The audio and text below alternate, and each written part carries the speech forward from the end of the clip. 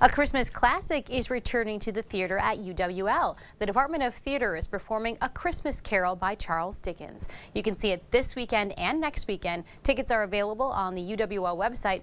Again, we'll post a link for you at news8000.com.